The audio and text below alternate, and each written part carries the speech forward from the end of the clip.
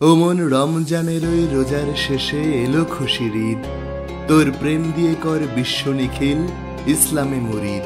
ঈদ মোবারক ঈদ মোবারক ঈদ মোবারক। টানা এক মাসের সিয়াম সাধনার পর আমাদের জীবনকে অনাবিল হাসি আনন্দে ভরিয়ে দিতে বছর ঘুরে আবার এসেছে পবিত্র ঈদ উল ফিতর। ঘরে ঘরে তাই ফিরনি পায়াসের সুঘ্রাণে মন মাতোয়ারা। কিন্তু এই নিয়ে পরপর দুই বছর আমরা করোনার করাল গ্রাসে পড়ে ঘরে বসে ঈদ পালনে বাধ্য হচ্ছি। নিজ পিতা, মাতা, স্ত্রী, সন্তান, পরিজন যারা সারাটি বছর জুড়ে আমাদের জন্য অপেক্ষা করেন, তারা এই বছরেও আমাদের সঙ্গ থেকে বঞ্চিত হচ্ছেন।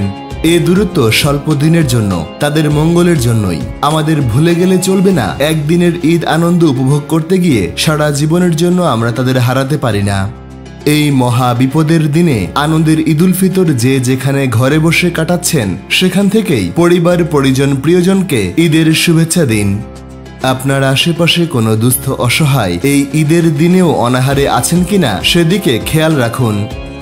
যদি নিজ পরিবারের সাথে ঈদ কাটানো সৌভাগ্যবান হয়ে থাকেন, তবে তাদের স্নেহাশিস গ্রহণ করুন।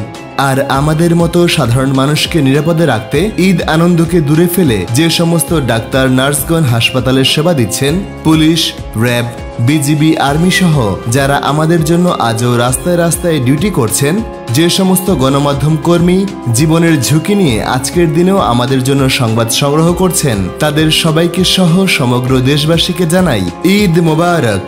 মহান আল্লাহ পাক যেন অতি দ্রুত আমাদের করোনা থেকে মুক্তি দেন, সেই প্রার্থনা করছি।